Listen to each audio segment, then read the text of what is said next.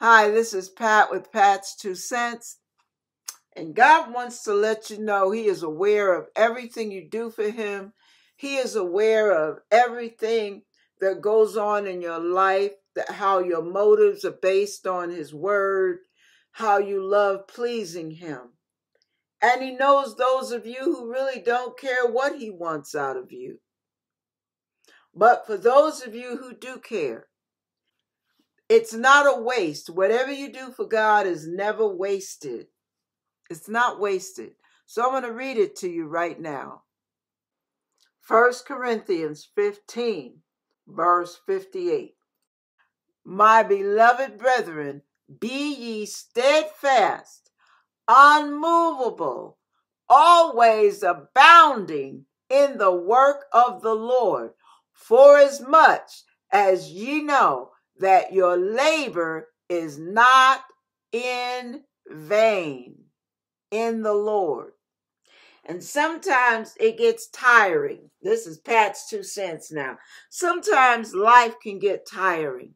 Sometimes our efforts can feel like they're pointless. Sometimes it feels like we're spinning our wheels like little mouse, spinning their wheels in that little mousetrap, getting nowhere. They're just going around in circles. You got me going in circles. And if we get frustrated and we get tired, and then the scripture tells us, do not be weary in well doing, for in due season you shall reap if you faint not. And sometimes we want to faint, we want to sit, we want to fold our arms, take a coffee break for the next 10 years of our life. Then we just don't want to be bothered. We don't want to be needed. We don't want to be called. We don't want to be asked anything. And we get tired of getting our feelings hurt.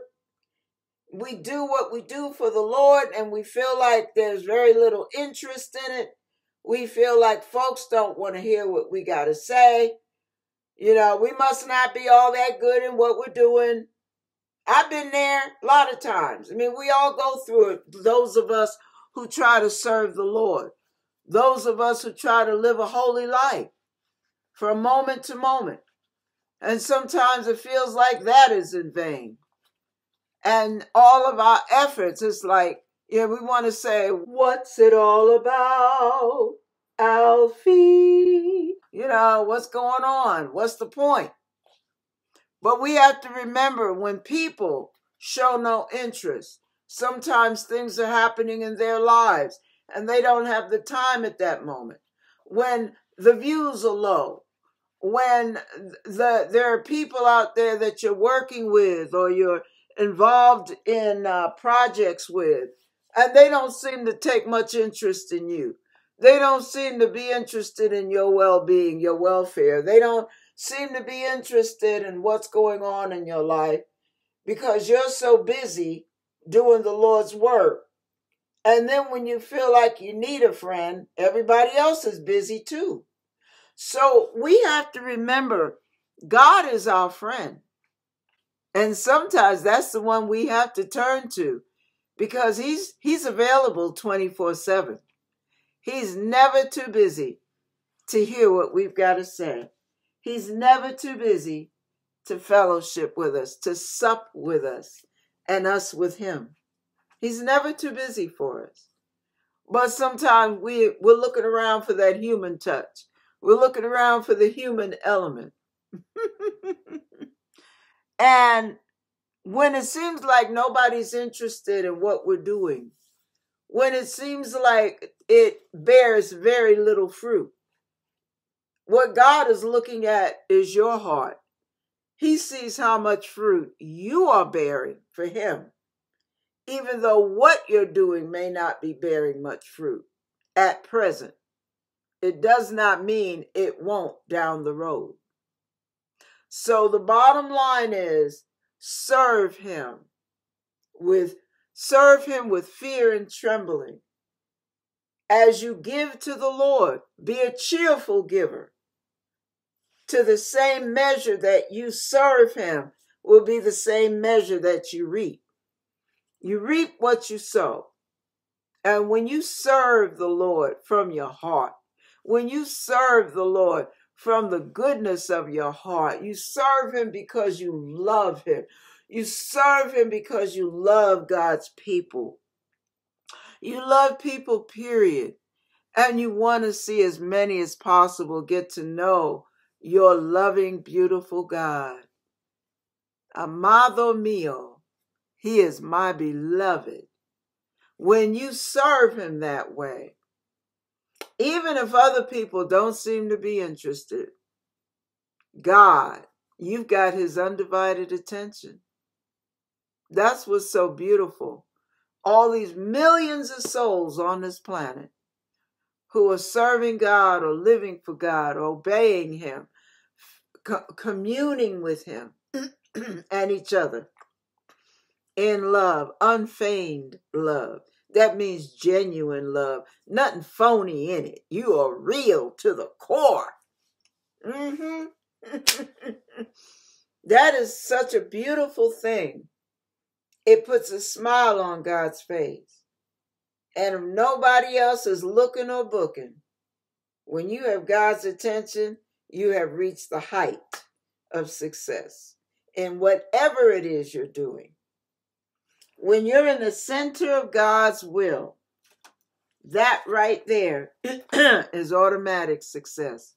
Even when it seems like you're failing, even when it looks like you're falling through and things are coming against you and things are coming against it, you are a success no matter what. Okay, here are a few examples. Remember when Moses was told to lead the Israelites through the wilderness and it started out with him getting the Jews out of the hands of Egypt and and God finally convinces Pharaoh to let his people go. And Moses has the people, he's leading them through the wilderness. And he gets them right there, right at the edge of the shoreline. And there's nowhere to go because there's an ocean in front of them. And then all of a sudden, God allows Pharaoh's heart to be hardened. And he sends him to, to uh, because God has a plan in mind. He's going to work a miracle.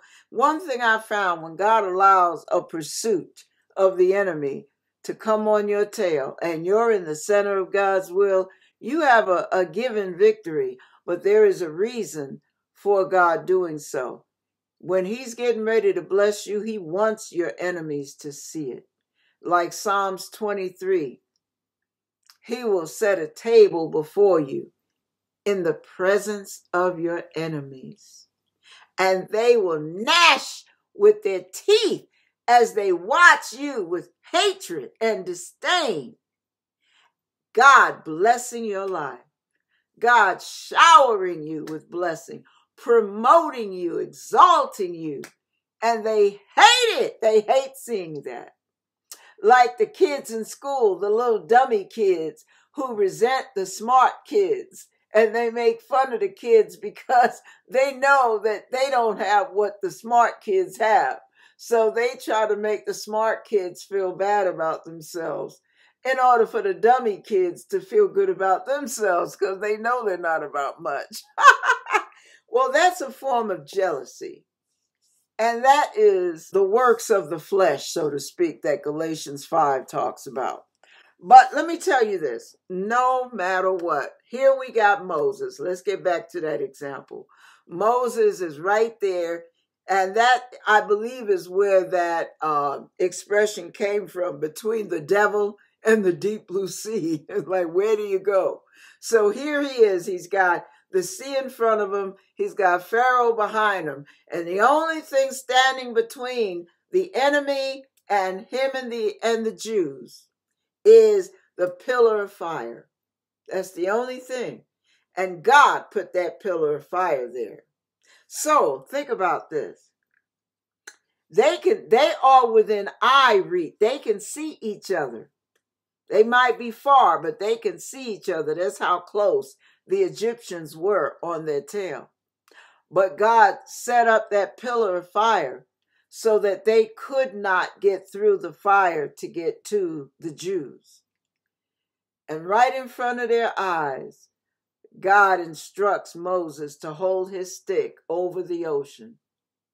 And it probably looked to the Jews like, wow, this was a waste of time. All of this time, all of this effort going through this wilderness only to be killed by the by the uh, by Pharaoh and his army.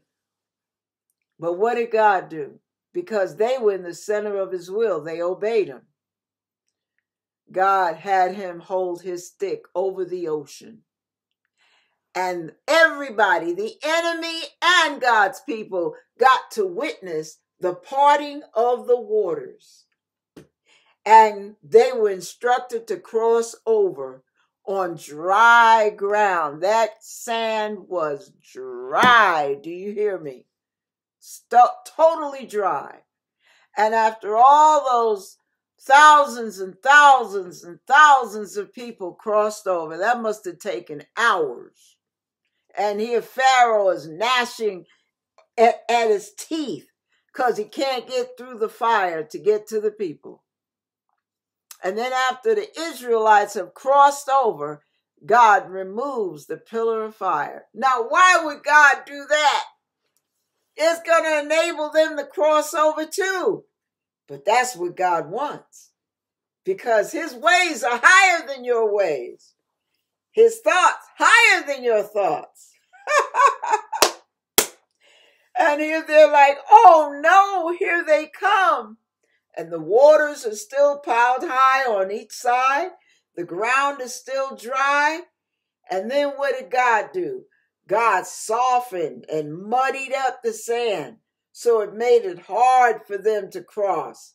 Now they're they're they're uh, trudging through in this muddy sand. Now it's difficult. The wheels are getting stuck. The horses are getting bogged down and sinking into the sand. So what does that do? That makes them get stuck. They can't move forward as easily as the Jews did. And when they all get in there, what does God do? He releases the wall of water and bam, all the enemy is killed. All those soldiers and all the horses and chariots at the bottom of the deep blue sea and Israel got to watch their enemy get totally destroyed right before their eyes. See, when God is for you, what scripture says, when God is for you, who can be against you? God knows how to get you from point A to point B, no matter what obstacles your enemies put up against you no matter how many ways they try to work against you, sabotage you, God knows how to get you from point A to point B. Mm-hmm. If God's in it, baby, you're going to win it. You hear me? No weapon formed against you will prosper. So know that your labor is not in vain because what you're doing is for the Lord. You're doing it in obedience to the Lord. You're doing it being in the center of God's will. God's got your back, baby. He's got your enemy too. And he knows how to deal with him. So when he allows the enemy to come in like a flood, what does God do? He'll lift up a standard against your enemy like he did that day. He will show out so know that you are in the best place possible, no matter how many people reject you, no matter how many people don't like you, no matter how many people backbite you, talk about you behind your back, no matter how many people try to to to uh, defraud your name or or uh, kill your uh, destroy your reputation try to make you look bad, try to sabotage your success, no matter what they try to do to hold you back. You ever see how an archer aims at a target, picture yourself as that bow and arrow. Picture yourself as the arrow. And picture your enemy as the as the archer's hand pulling that string back. Cuz that's what it feels like in life. Like there are always forces, people and forces trying to pull us back. Always trying to pull you back always trying to sabotage your success. There's always somebody out there that doesn't like you. While that man's hand is pulling or that woman's hand is pulling that string back with the arrow attached to it. And you're the arrow, but they're pulling you back. You're the arrow, but they're pulling you back, further back, further back, further back. But God is the bow and arrow, and God is the one doing the aim. Mm-hmm. And God says when to release that arrow. And one day God will tell the enemy, release my servant. And when that hand releases that arrow, because he's pulled you back so far, it forces that arrow to catapult and soar towards its target, towards the goal, towards the finish line. God knows how to get you there. He will use your enemy to get you there if need be, but he will get you there. So your labor is never in vain because God, who called you to that labor, God who called you to that assignment, God who called you to that ministry, God who called you to that outreach, God who called you to that level of education, whatever it is, who called you to that marriage, who called you to that church, wherever he called you to, called you to that vocation, he will get you all the way. No matter how far the enemy pulls you back, God will one day take control and say, now release him and when, I mean, Satan has to obey God. The demons have to obey.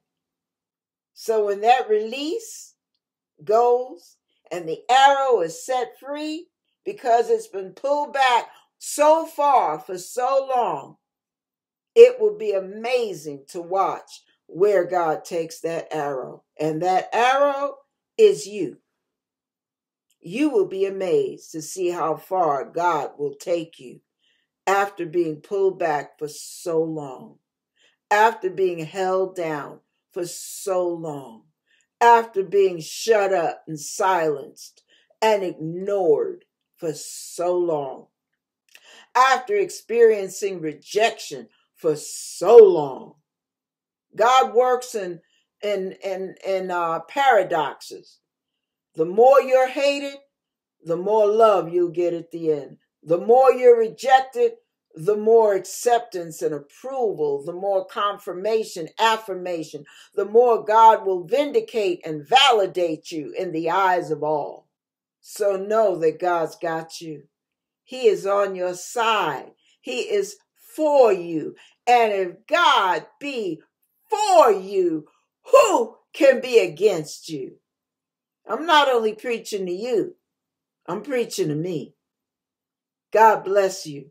Be encouraged. Hold your head up high because you got the right one on your side. Amen. God bless you.